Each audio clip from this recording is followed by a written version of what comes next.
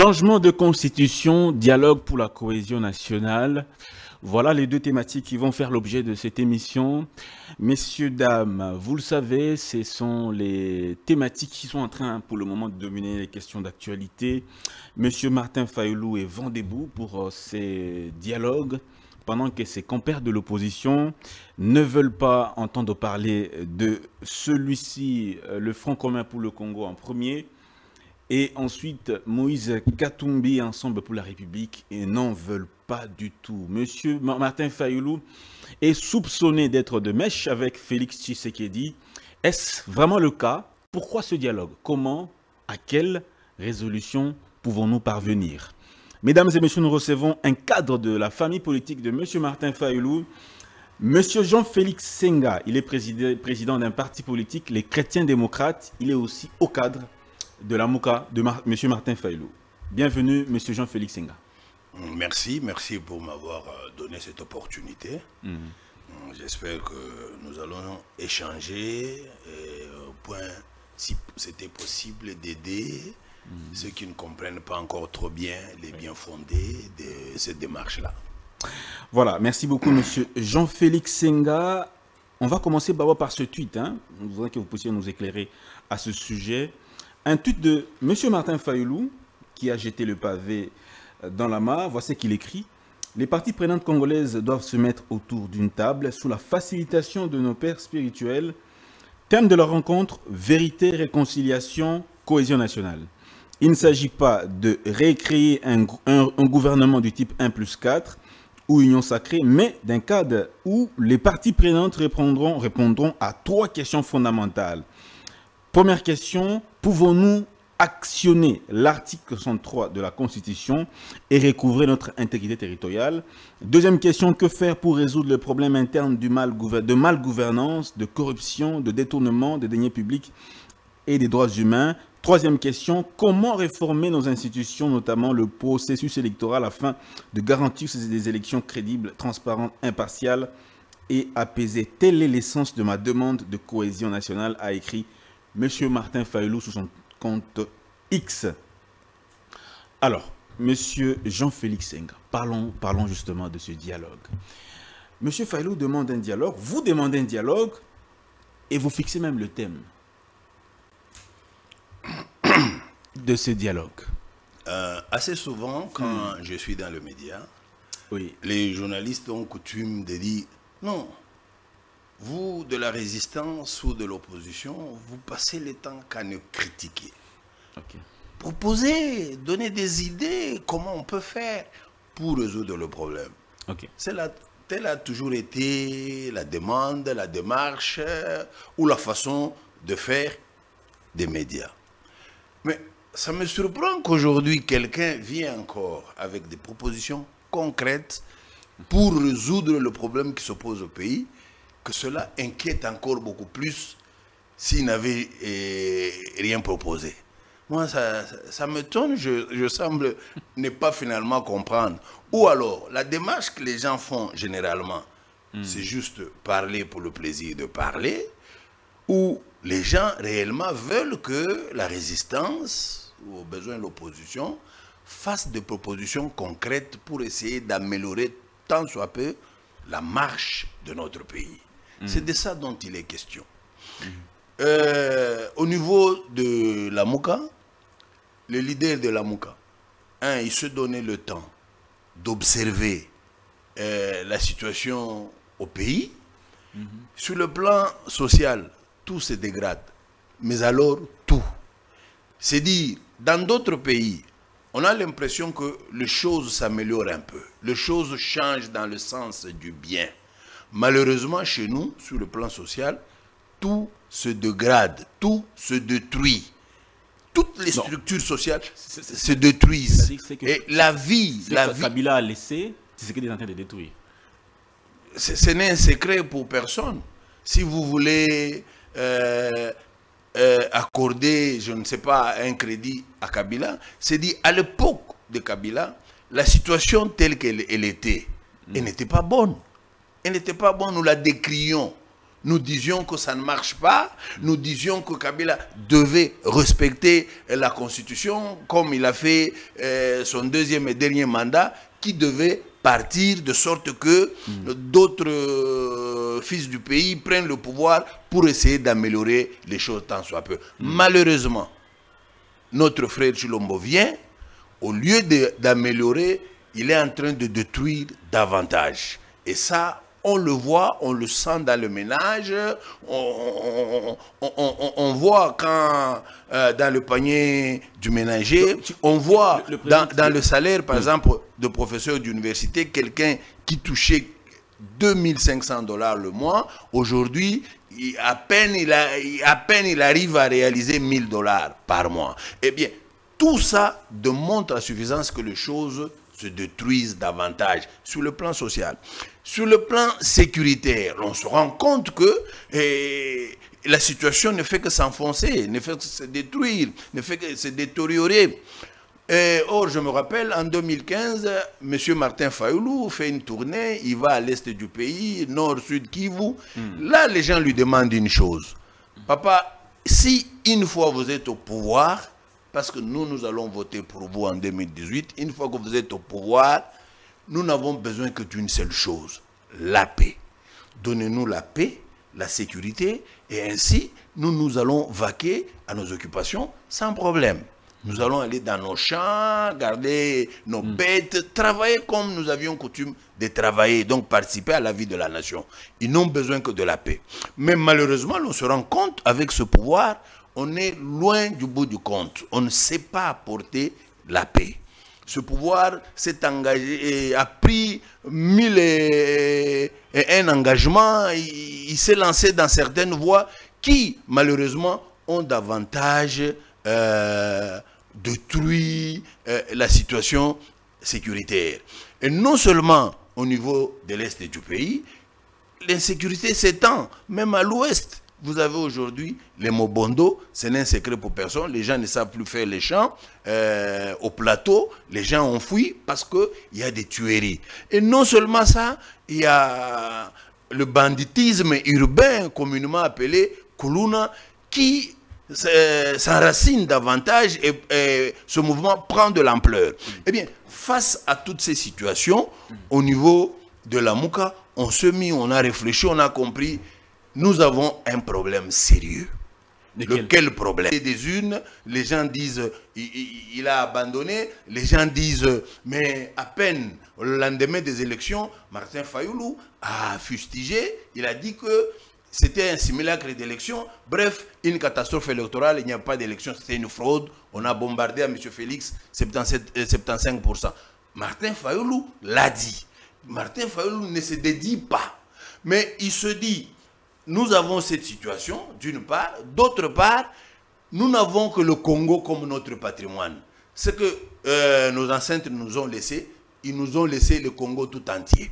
Malheureusement, le Congo est en train de partir sous nos yeux. On est en train de nous ravir de contrées, des villages. Vous savez, jusqu'aujourd'hui, le Rwanda a déjà pris 115 localités et villages. 115 localités et villages. D'où est-ce que vous tirez cette information? Non, mais, mais c'est vérifiable. Ce n'est un secret pour personne. C'est vérifiable parce qu'on peut le nommer. On sait tout ce que le Rwanda a pris. 115 localités et villages, d'une part. Donc, euh, vous dénoncez en quelque sorte l'incapacité du gouvernement à pouvoir sécuriser intégralement le pays. C'est ce que nous, nous, nous voulions que tout le monde comprenne. Pédagogiquement, nous avions pris une démarche qui amènerait tout le monde à comprendre que nous avons affaire à un régime incapable. Ce régime incapable, si par malheur nous disons que non, oui, nous avons en face de nous un régime incapable, euh, le seul sort qu'on peut réserver à ce régime, c'est lui donner un coup de pouce, il saute. Hmm. Ce qui peut venir à l'esprit facilement, ça fait six ans, personne n'arrive à donner un coup de pied à ces régimes afin qu'ils sautent. Bien que c'est un régime euh, d'usurpation. Incapacité en interne, comme le disait le chef. Non. Par, par contre, hmm. par contre, Par contre, si, si l'opposition était faible selon lui, il n'aurait pas peur de l'opposition. Il, il n'aurait pas peur de l'opposition. Si l'opposition était faible selon lui, aucun jour l'opposition ne pouvait organiser une manifestation. Il envoie la police et l'armée pour aller tirer. S'il n'avait pas peur, si l'opposition était faible, il n'oserait même pas faire ça. Il se dirait, laissez faire, il n'y aura rien. Effectivement, il n'y aura rien. Mais c'est parce qu'il a réellement peur de cette opposition, il a peur de, de cette résistance. Voilà pourquoi il a... S'il n'avait pas peur, la police n'irait pas vers 2 heures du matin au siège du parti de Martin Fayoulou aller assassiner, tuer comme ça vertement quelqu'un, faucher la vie de quelqu'un et vous dites que non, il n'a pas peur, c'est une, opposition à péter, une opposition à péter, vous allez tuer. Fayoulou fait peur à Tshisekedi, si je comprends bien, M. Jean-Félix. Moi, je crois que ce n'est pas moi qui l'ai dit. Tshisekedi lui-même lui l'a dit. Hmm. Quand Tshisekedi euh, vient de sa maladie, euh, lors d'un entretien avec Top Congo, Tshisekedi l'a dit tout bonnement, les évêques sont venus, ils m'ont dit qu'il faut qu'on fasse un dialogue pour créer la cohésion nationale. Moi, je leur ai dit, je n'attendais que ça, mais malheureusement, je leur ai dit, comment je vais faire ce dialogue avec Fayoulou qui ne me reconnaît même pas comme président? Tshisekedi l'a dit, on ne lui a pas fait dire, il l'a dit. C'est ça sa pensée, c'est ça sa position. C'est tout ce qu'il croit de Fayoulou. Fayoulou le dérange beaucoup. Contrairement à ce que les gens peuvent dire ce qu'ils voudraient. Bref, vous comprenez que l'insécurité fait que euh, l'insécurité nous a démontré que ce régime est incapable de nous trouver des solutions. Pire encore, nous on nous a pris 115 territoires, nous sommes premiers à aller chercher un, euh, un cessez-le-feu. Un cessez-le-feu pour en faire quoi? Un cessez-le-feu qui va profiter à Kagame, pas au Congo. Nous, ça va nous profiter encore. Est-ce que nous, nous avons besoin d'un cessez-le-feu? Nous, nous avons besoin de recouvrir l'intégrité territoriale. Ce sont des recommandations de, la feuille de route de Luanda. Nous avons... Notamment, la feuille de route de Luanda qui est en pleine... Euh, exécution. bon, qui est en pleine exécution, mais pour le moment, il y a encore des points morts. Mais c'est justement pour trouver la paix. Euh, le, président angolais a été mandaté par l'Union africaine. C'est l'Union africaine qui est derrière le président angolais. Tout à fait. C'est un processus. ce n'est pas un état définitif, c'est un processus. Ce processus-là, oui. c'est très mal engagé parce qu'il y a des choses dans ce processus qui nuisent à l'État congolais. Nous n'allons pas nous taire. L'exemple que nous donnons, nous disons ceci. Monsieur Kagame, quand Kabila était président, euh, son armée était entrée au Congo. Hmm. Ils ont fait des patrouilles mixtes. Ils ont fait des patrouilles. Au bout de trois ans, Kagame a pris langue. Il a dit que euh, maintenant, nous nous rendons compte que les FDLR n'existent plus, n'est plus capable de mettre à mal le Rwanda, d'insécuriser le Rwanda. Donc officiellement, nous pouvons rentrer chez nous, la mission est accomplie. Tout le monde le sait. Ça, ce n'est un secret pour personne. Et c'est l'invention de la MOCA. Tout le monde sait, vous pouvez prendre les vidéos, vous allez suivre les propos de Kagame. Ça, c'est un. Deux, la MONUSCO vient à son tour dire que euh, nous avons pris les gens de FDLR, nous les avons renvoyés chez eux, nous avons même établi des listes de noms des gens qui Hmm. Euh, jusqu'à ce jour, aujourd'hui, euh, les FDLR ne sont plus une menace pour le Rwanda. Donc c'est une page tournée. En 2022, c'est M.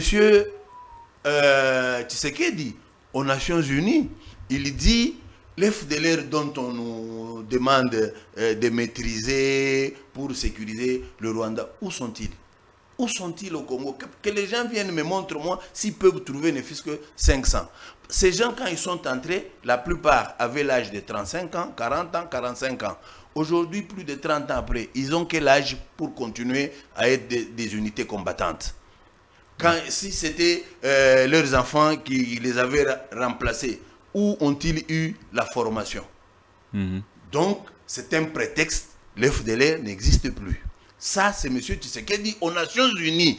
La vidéo est là. Et enfin, et enfin, en 1994, quand le Hutu entrait chez nous, à l'époque, le Premier ministre Kengwa Dondo avait refusé qu'ils entrent chez nous. Les Nations Unies ont tapé sur Mobutu à l'époque. On avait même donné à Mobutu 2 millions de dollars pour ouvrir le couloir afin qu'ils entrent. Ils sont entrés. Et après, quelques temps après, le gouvernement congolais dit ils ont fait du temps, on a pris les dispositions, ils peuvent maintenant rentrer chez eux. Et même le grand commerçant du nord, sud Kivu, mm. ont disponibilisé des camions de l'argent pour transporter ces Hutus, le retourner chez eux. La Belgique, la France, l'Angleterre, les États-Unis avaient dit Niet, il faut qu'ils restent. Ils sont restés. 30 ans après, comme le Rwanda est en train de, prendre des morceaux de l'opin de terre au Congo, vous venez dire pour que le, Rwandais arrête et qu'on voit comment amorcer le processus de retrait, vous, le Congolais, vous devez d'abord sécuriser les Rwandais en maîtrisant les FDLR. Qui sont où? Hmm. Qui doit être responsable des FDLR Le gouvernement congolais ou les Nations Unies? Mais en temps, Ce sont les Nations Unies. Tout à fait. Donc on ne peut pas charger du Congo la chose dont il n'est pas responsable. le premier responsable, c'est eux. Donc s'il y a des gens qui doivent fournir des efforts pour maîtriser les FDLR, hmm. c'est eux. Mais, comme on a un régime faible, hmm. un régime des naïfs, un des régimes des gens qui semblent ne pas comprendre, ils acceptent la charge, ils acceptent la responsabilité. Par quel mécanisme pensez-vous qu'un dialogue Là où l'Union africaine est engagée, les États, euh, les Nations unies sont engagés pour retrouver la paix, par quel mécanisme le dialogue en interne va résoudre ce problème? Comment ça va se passer? Vous allez armer, vous allez donner plus d'armes aux militaires? Vous allez faire comment? Vous allez envoyer des jeunes gens, de les cider, je sais pas, de la mouka dans l'armée? Qu'est-ce que comment vous comptez résoudre ce problème? Merci. Hmm. C'est ainsi que nous disons, comme il y a le processus de Luanda, que vous dites encadré par l'Union africaine, dans ce processus, nous, la Mouka, nous ne nous, nous, y opposons pas, hmm. d'autant plus que les États peuvent se parler entre eux. C'est-à-dire, le Congo peut parler avec la Zambie, peut parler avec l'Angola, peut parler avec le Rwanda, peut parler avec l'Ouganda, avec n'importe quel pays qui hmm. nous est voisin. Ce n'est pas interdit. Mais il y a certaines choses qui sont dites, qui sont faites, qui sont en défaveur du Congo. C'est ainsi que nous disons, bien, comme ce sont les États qui parlent entre eux, cela n'empêche que le Congolais crée une cohésion à l'interne, de sorte que nous ayons le même langage, la même compréhension des choses pour prendre la même position. Je venais de vous donner un exemple, vous dire en vertu de quoi ce gouvernement peut accepter que lui doit avoir la, tâche, la responsabilité de maîtriser les FDLR afin de sécuriser le Rwanda. Oui, mais le, pouvoir est toujours incarné par un titulaire. C'est-à-dire, il y a un gouvernement qui gère la chose publique. Mais quand vous dites qu'il faut la cohésion nationale, vous voulez dire quoi exactement? C'est-à-dire que vous aurez des, membres de l'ECD au gouvernement qui vont parler au nom de, de toute la République. Comment ça va se passer? C'est là que c'est pas clair. Ok, c'est très clair comme l'eau de roche. Nous disons qu'il faut que les grands leaders de ce pays se retrouvent autour de nos pères spirituels pour poser, regarder de très près quel est le vrai problème qui se pose au pays au point que le Congo soit aussi faible devant le Rwanda et le Congo soit aussi complaisant devant l'Ouganda. Parce qu'il est impensable que les Nations Unies, que les États-Unis vous disent et les militaires euh, ougandais sont sur le sol congolais, le gouvernement lui-même ne sait pas. Le ministre de la Communication dit Ah bon nous sommes surpris, nous allons vérifier cette information. Mhm. Donc c'est scandaleux. Ce n'est pas ce gouvernement qui semble être très irresponsable euh, mhm. dans ce sens, à qui vous allez laisser toute la charge. Mhm. Et je disais que le Congo est le seul patrimoine que nous, Congolais, nous avons. Nous avons le devoir de protéger notre patrimoine. Nous avons le devoir, quand nous, nous partirons, nous, que nous léguions à nos enfants le patrimoine en entier tel que nous, on nous l'avait concédé. C'est dans ce sens que nous disons il faut que les grands leaders se retrouvent après avoir euh, cerné exactement le problème euh, en, en termes qu'il se pose.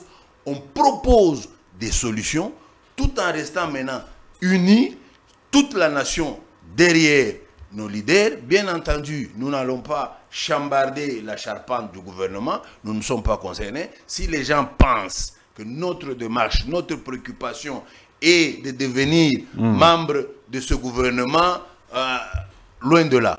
Mais néanmoins, quand nous allons créer cette cohésion, nous allons voir le problème des droits de l'homme qui se pose avec acuité dans notre pays. Donc, doit résoudre ce problème. Il y, aura, il, y aura, un gouvernement après, il y aura un gouvernement qui sera issu de ces, de ce dialogue je, Ni de près ni de loin, je n'ai pas dit ça. Mais néanmoins, il doit y avoir une institution. Qui sera créée, qui sera créée après le dialogue. Après le dialogue, qui sera créée pour suivre l'application, la réalisation de tout, de tout ce qu'on aura arrêté de commun accord, de sorte que personne ne puisse empiéter. Cette, cette structure aura quelle, euh, quelle, quelle, comment dire, elle sera, elle sera, comment dire, une institution d'appui ou de soutien, de, de, suivi des résolutions de, de dialogue. Tout à fait. Cette structure aura cette mission de suivre, ça sera une institution que nous aurons euh, créée au cours de ce dialogue-là, parce que c'est euh, presque toutes les fractions de la République qui se retrouveront à travers l'Union sacrée, à travers l'FCC, à travers l'ensemble, à travers la MOUCA, à travers les différents mouvements de la société civile. Hmm. Donc, de commun accord, nous allons créer cette structure pour que cette structure fasse le suivi de sorte qu'il y ait application de tout ce que nous aurons pris comme résolution. Dans cette structure, il y a notamment les, représentants de tous les cadres de l'opposition ou de pouvoir. Tous les leaders seront représentés. Félix Tshisekedi avec euh, ses hommes, Fayoulou avec ses hommes, Katumbi avec ses hommes, Kabila aussi, peut-être s'il sera partie prenante. Donc tous les leaders vont avoir des délégués dans cette institution. Tout à fait, tout à fait. Tous les leaders seront suffisamment représentés. Et ces hommes, et ces hommes seront payés aux frais du trésor. Ça, c'est la dynamique euh, du mouvement, la dynamique hmm. de ce dialogue-là qui déterminera euh, cela. C'est pas à moi aujourd'hui de venir, c'est pas ça. Euh, l'idée qui trotte dans mon esprit, moi je suis préoccupé par le fait qu'il nous faut recouvrir l'intégrité territoriale. Hmm. Pour la recouvrir, nous pensons qu'il nous faut une cohésion nationale. Parce que quand nous serons unis face à l'adversaire, je crois qu'il sera faible. À travers le monde, cela a déjà été démontré. Vous avez vu la guerre au Vietnam, les États-Unis contre le Vietnam, le fait qu'ils étaient unis, quel que soit le bombardement américain, ils ont échoué. Vous avez vu au Cambodge, les Russes ils avaient échoué. Vous avez vu en Afghanistan, les Russes, ils avaient échoué. Vous avez vu finalement en Afghanistan, les Américains ont encore échoué après avoir dépensé plus de 4 000 milliards de dollars. Donc l'unité est une force, est une arme, euh, une arme dissuasive qui fera que le Congolais préserve leur patrimoine. Pourquoi, pourquoi vous, Martin Fayou n'a pas voulu d'abord s'unir avec ses, euh, ses compères de l'opposition, mais il veut qu'on puisse s'unir autour de la nation. En Afrique du Sud, vous avez été là, comme délégué de Fayoulou, vous avez dénoncé des magouilles, et après, vous êtes revenu à Kinshasa, vous, vous n'avez pas été d'accord avec ce qui s'est fait en Afrique du Sud. Pourquoi d'abord ne pas vouloir se mettre d'accord au niveau de l'opposition? Parce que vous ne parlez pas de même, même langage. Avant de se mettre d'accord avec le pouvoir, pourquoi directement vouloir se mettre d'accord autour de tous les leaders? Ok, la question est bien posée. Ne faisons pas l'amalgame. Hmm. En Afrique du Sud, nous avons, nous avons été là-bas, c'était pour réfléchir à une éventualité, une éventualité des candidatures communes. Qu'est-ce qu'on alignerait comme critère pour que quelqu'un euh, soit ait ses pouvoirs d'être candidat qui engagerait toute l'opposition. Autour de ces critères, on n'a pas travaillé, mais quelque chose a été en aparté boutiqué et présenté comme ça. Vous comprenez? Boutiqué pas. C'est pourquoi. votre, vous comprenez de l'opposition. C'est pourquoi euh, on ne s'est pas compris. Parce que quand nous descendions là, ce n'est pas moi, ce n'est pas Olivier Kamitatu, c'est pas professeur euh, Kitoko, c'est pas mm-hmm. Albert Mouleka qui avait le pouvoir de, désigner les candidats communs. Non, nous, nous devions préparer les cadres mm-hmm. et que le grand leader devrait euh, eux-mêmes, sur base des critères que nous avions travaillé ensemble avec les ONG que nous avons trouvés là-bas, maintenant se prononcer. Malheureusement, le travail préalable là, nous ne l'avions pas fait mais les gens avaient déjà enjambé, avaient déjà boutiqué les choses. C'est ce que nous avions dénoncé là-bas. Ça, c'est ce qui s'est passé en Afrique du Sud, qui n'a rien à voir avec la cohésion nationale recherchée aujourd'hui. La cohésion nationale, c'est une idée que nous mettons sur la table.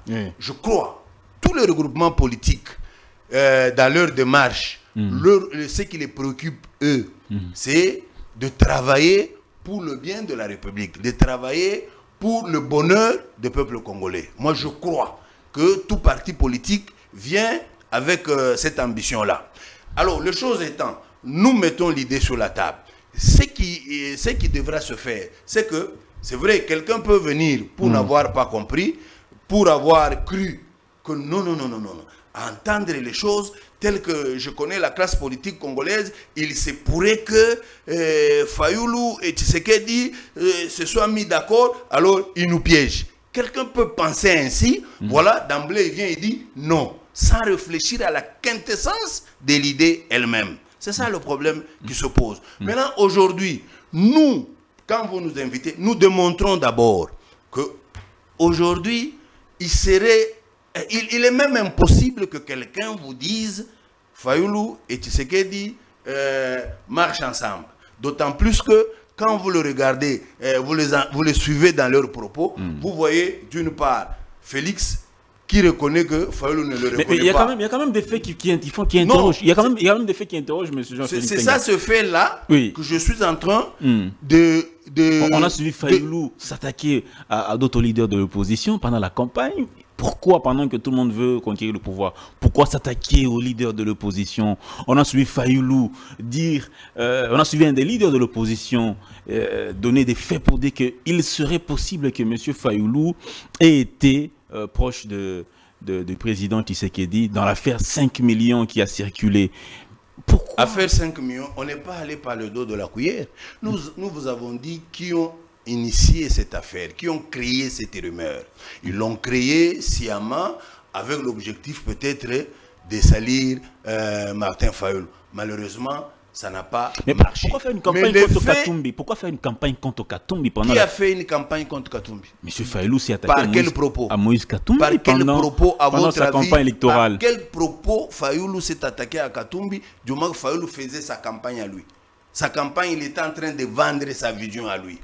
Sa campagne, il était en train de euh, galvaniser, mobiliser le peuple qui le soutient pour qu'il soit massivement élu. C'était ça le thème de sa campagne. Le thème de sa campagne, je ne me rappelle pas, vous arrivez dans un coin du pays, Fayoulou commence à, citer un autre leader. Je ne me rappelle pas. Par contre, on lui a fait même dire que Fayoulou aurait dit que si vous ne pouvez pas voter pour moi, votez pour, voter pour moi Nambok. Ça a été un montage dans les laboratoires Cadio Chadeluy d'Epes. Nous vous l'avons démontré. Vous, vous, pensez que Fayoulou est des mèches avec euh, euh, Félix. Félix euh, juste le soir des élections, Fayoulou dit c'est un simulacre d'élection. Fayoulou entraîne, entraîne les autres. C'est pas un jeu. Entraîne les autres. Entraîne les autres dans une certaine euh, coalition pour que nous soutenions qu'il s'agit d'une euh, simulacre d'élection et que ces résultats, on ne devait pas le prendre au sérieux. On se met ensemble, on fait des documents ensemble. Tout le monde appose sa signature, reconnaît que c'est un simulacre d'élection. Deux jours après, vous vous réveillez que non, nous, nous devons choisir un porte-parole de l'opposition. On dit non, ce ne serait pas logique. À partir du moment où vous reconnaissez que c'est un simulacre d'élection, ça veut dire que vous ne reconnaissez pas Félix comme président élu. Mais néanmoins, nous reconnaissons que Félix est président de fait, mais pas un président élu. C'est les discours que nous développons chez nous. Voilà pourquoi nous ne pouvons pas nous retrouver, euh, chercher à, nommer ou à voter un quelconque porte-parole de Félix que nous ne reconnaissons pas comme président élu. Eh bien, quand les gens commencent à se contredire, c'est ainsi que vous avez semblé voir que nous nous sommes un peu retirés, on s'est on ne disait rien, on réfléchissait. Après avoir réfléchi, nous sommes arrivés à cette conclusion que face à la situation qui prévaut, si nous continuons à regarder comme ça, nous n'aurons que nos yeux pour pleurer quand on nous aura arraché notre pays. Voilà pourquoi nous devons réveiller tout le monde, nous devons inviter tout le monde afin que ensemble nous réfléchissions pour voir comment trouver des voies et moyens pour faire face à cette agression, pour hmm. faire face au fait que nous sommes en train de perdre l'intégrité territoriale. voilà notre démarche. Olivier Kamitatou, à la demande du dialogue, il écrit que ceux qui demandent le dialogue sont parmi les personnes qui sont notamment, euh, le terme qu'il a utilisé, euh, fatigués. Fatigués ou bien le, le, mot exact. Essoufflé. Essoufflé, voilà. J'ai entendu ces mêmes propos. Hmm. J'ai suivi, bon, j'ai seulement rigolé. Hein. Olivier Kamita, toi, déjà fait l'opposition. Il tient pendant, hein, il tient l'opposition. Il a déjà fait l'opposition. Non. Katumbi, il a déjà fait l'opposition. Non. Matata, il a déjà fait l'opposition. Non. Nous, nous avons l'expérience de l'opposition. Mais l'opposition n'est pas un, métier. non seulement l'opposition n'est pas un métier. Si nous nous sommes retrouvés dans la classe politique, c'est avec des objectifs. Quels objectifs? Le rêve que nous avons pour ce pays. Le rêve que nous avons de voir ce pays rester uni, grand, prospère, être locomoteur des autres pays au centre de l'Afrique. C'est ce que nous, nous nous nourrissons de l'opposition que nous nous faisons de la politique que nous faisons, si vous voulez, de manière générale. Mais maintenant, nous avons dit, euh, Olivier peut avoir dit ça. Ça peut être une erreur dans sa perception des choses. Parce que je le mets devant un fait. J'ai dit aujourd'hui qu'Olivier choisisse. Pourquoi qu'il choisisse? Vous savez que l'homme, sa vie, sa vie est faite des décisions et des choix. Les choix que nous faisons dans la vie définissent ce que nous devenons dans la vie, n'est-ce pas? Mm. Bien, aujourd'hui, nous avons d'une part ces régimes euh, moribonds, ces régimes incapables. Nous l'avons, ce régime de Philex, un régime incapable qui ne peut rien pour notre peuple, pour notre pays, d'une part. D'autre part, nous avons le Congo. C'est tout ce que nous avons comme patrimoine, c'est tout ce que nous avons comme bien qui est en train de partir sous nos yeux. Maintenant, aujourd'hui, faisons le choix. Le choix doit être lequel? Le choix doit être celui de dire à Félix, ton régime, c'est un régime moribond, un régime qui ne peut rien. Maintenant, le pays part. Ou le choix doit être celui de dire, sauvons d'abord le pays, sauvons préservons ce que nous avons comme patrimoine. Admettons qu'aujourd'hui on se dise, non, on, ne crée pas la cohésion nationale, on laisse les partis partir. Quand le parti sera pris, quand le parti sera entre les mains des étrangers et que nous n'avons plus de patrimoine, nous rentrerons pour faire quel discours? Nous rentrerons pour faire quel discours le, front commun. Chacun là où il sera, il va hmm. se cacher. C'est là où il va dire non, nous avons perdu le, pays à cause de, euh, du régime euh, de Félix. non, le front commun nous devons être responsables. D'accord. Le sens de responsabilité hmm. exige que nous prévoyons, nous anticipions les choses. Nous disons d'abord, arrachons notre pays. Une fois que nous l'avons, nous allons nous battre pour le réorganiser, le, de doter des moyens qu'il faut pour qu'il aille de l'avant. Voilà notre préoccupation. Chadar, et notamment du Fonds commun pour le Congo, dit ça ne vaut pas la peine d'aller à un dialogue avec le président Tshisekedi parce qu'il ne respecte pas ses engagements du tout. Genève, Luanda, Nairobi, tous les engagements que le président aurait pris n'ont jamais été respectés. Qu'est-ce que vous répondez par rapport à ça? D'une part, Chadari a raison en, disant que, en disant que le président Tshisekedi ne respecte rien. Mhm. C'est vrai, il ne respecte rien. Mais c'est aussi vrai, c'est eux, les Chadari et FCC, qui ont aidé Tshisekedi à ne pas respecter certaines choses. Comment ça? Tshisekedi, après avoir euh, choisi, élu, le candidat commun de la Mouka, Martin Fayoulou à Genève, Tshisekedi avait adhéré à ça. Tshisekedi avait même dit le changement, c'est Fayoulou. Vous vous souvenez de cette euh, phrase fétiche de Tshisekedi à Genève? Le changement s'appelle Martin Fayoulou. Martin Fayoulou. Le lendemain, c'est le groupe de Kabila qui instrumentalise Tshisekedi et Kamere. Ils vont créer l'accord de Nairobi. C'était Kabila qui était derrière cette... C'était Kabila qui... Comment ça? Qu'est-ce qu'il démontre? Qu'est-ce qu'il peut démontrer facilement? Oui. À votre avis, aujourd'hui, nous, de la résistance, ou quelqu'un de l'opposition, l'opposition peut aller organiser une réunion, une réunion dans une ambassade congolaise à l'étranger. L'opposition de son propre chef, une réunion de l'opposition peut s'organiser dans une ambassade à l'étranger. C'est impossible parce que l'ambassade est au service du gouvernement. Tout à fait. Or, hmm. la réunion de Nairobi, c'était abrité dans les locaux de l'ambassade euh, du, l'ambassade du Congo au Kenya. Donc, c'était le pouvoir qui avait organisé ça. Ça, c'est un secret pour personne. Kabila était derrière. Ça, c'est un secret pour personne. Ça, c'est un. Deux, on va aux élections. Félix perd les élections avec 15%. 15% Martin Fayoulou, 62%. Non, non, non, Martin Fayoulou, 62%. J'ai dit Martin Fayoulou, 62%. D'où est-ce que 15% D'où est-ce que vous aux élections. D'où est-ce que vous tirez ça, monsieur En tout cas, ça c'est déjà. Tu sais, aujourd'hui, point n'est besoin que les gens continuent à faire semblant. Point n'est besoin que les gens continuent à faire semblant. Monsieur Tshisekedi lui-même l'a démontré en voulant faire voir aux gens qu'il en a souffert. Il en a souffert du concept vérité des unes. On a tapé, tapé ça, joué sur sa psychologie, il en a souffert. Et il a commencé à chercher à trouver des moyens pour se laver un peu, pour sortir un peu de l'eau. Malheureusement, il n'y parvenait pas. Alors, quand on organise ces élections-là, c'est Kabila qui instrumentalise Nanga. Donc c'est FCC qui instrumentalise Nanga, euh, fabrique les résultats proclame euh, Tshisekedi qui lui n'avait pas gagné les élections. Ça, euh, notre ami Chadari n'a pas le courage de le dire.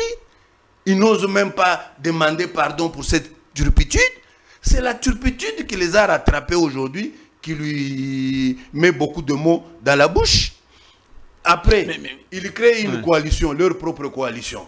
Dans leur coalition, moi je n'entre pas dedans. Tout ce que je sais, eux ont prétendu euh, avoir la maîtrise sur Félix. Félix les a déjoués. Ils se sont retrouvés tous au pavé. C'est ce qui leur fait mal. C'est ça le problème qu'eux ont. Hmm. Donc, eux ont d'abord le problème avec les Congolais. Hmm. Pour avoir falsifié les résultats. vous avez été aussi avec pour avoir proclamé. Vous avez été aussi au Kabila dans une, dans une forme de, de, mouvement commun pour. Euh, non, non, non, non, non, euh, Ce qui vous a prévalu à, la, séparation avec Mouzito. Non. Notamment. Moi, je ne comprends pas comment au Congo, quand quelqu'un fait une démarche, hmm. au lieu de suivre l'essentiel de la démarche, la quintessence de la démarche, pourquoi il fait la démarche hmm. Au Congo, on aime susciter des choses juste pour créer des sensationnels, la polémique. Nous, nous avons dit ceci. Nous avons voulu créer ce que nous appelons un bloc patriotique. Hmm. Nous avons voulu engager tous les Congolais dans un mouvement où on appliquerait l'article 64 euh, par rapport au comportement qu'affiche M. Félix et son gouvernement. Vous comprenez? Mm. Nous avons voulu faire ça. Eh bien, tous les Congolais qui ont compris le bien fondé de l'idée euh, sont venus. non seulement, ce n'est pas nous qui dirigeons, qui dirigeantions cela, c'était euh, le mouvement de la société civile L'Église nous avait seulement donné des locaux pour que nous nous rencontrions, nous fassions ce travail. C'est ainsi qu'est né le bloc patriotique. J'ouvre une parenthèse. J'ouvre une, parenthèse. Vous avez dit c'est par là que Mouzito partira. Mouzito doit être honnête. Je suis désolé, j'ai toujours eu beaucoup d'égards vis-à-vis de lui. Il va falloir qu'il se mette à sa place. Mouzito doit être honnête. Quand nous avons commencé ce mouvement-là, nous avons fait cinq réunions de suite. Cinq réunions ils étaient là. Ils participaient en tout et pour tout. les documents sont là avec la signature de Mongomba. Nous avons fait des cotisations. Ils ont cotisé. C'est quand est-ce que lui a vu que, oh non, on a fait appel au PPRD, moi je pars. Non. Les gens du PPRD hein, sont venus solliciter, faire partie du bloc patriotique. Nous nous sommes posé la question. À ce niveau, nous faisons quoi? Nous disons, non, vous, vous n'avez pas le droit de vouloir sauver le pays. Vous n'avez pas ce droit. Ou bien nous disons, bon, ils sont aussi Congolais, ils sont concernés, quand bien même la situation qui prévaut là, c'est eux qui, sont à la base. Nous faisons quoi? On a réfléchi à ça ensemble avec Mouzit. Mouzit a trouvé son prétexte après. Quand il a commencé à chercher le pouvoir, quand il a commencé à aller approcher Tshisekedi, il a cherché son prétexte. Malheureusement, ça n'a pas marché parce que euh, Fayoulou n'a jamais été avec Kabila, Fayoulou n'a jamais été avec...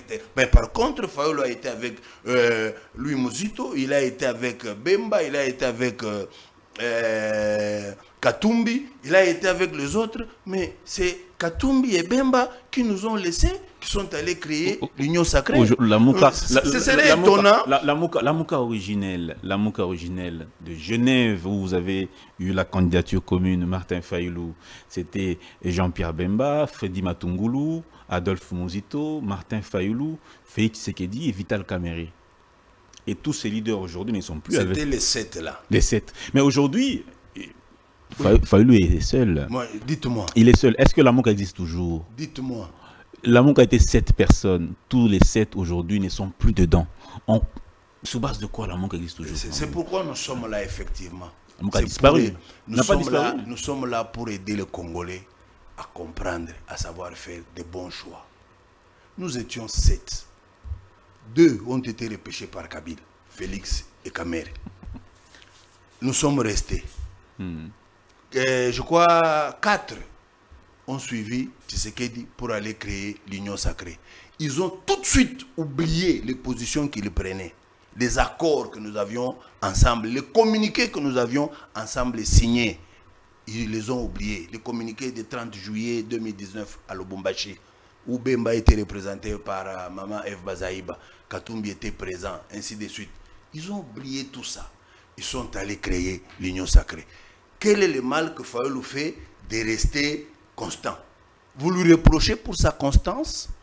Vous lui reprochez pour, pour avoir sauvegardé ses mouvements afin que dans ce pays qu'on n'ait pas euh, la pensée unique?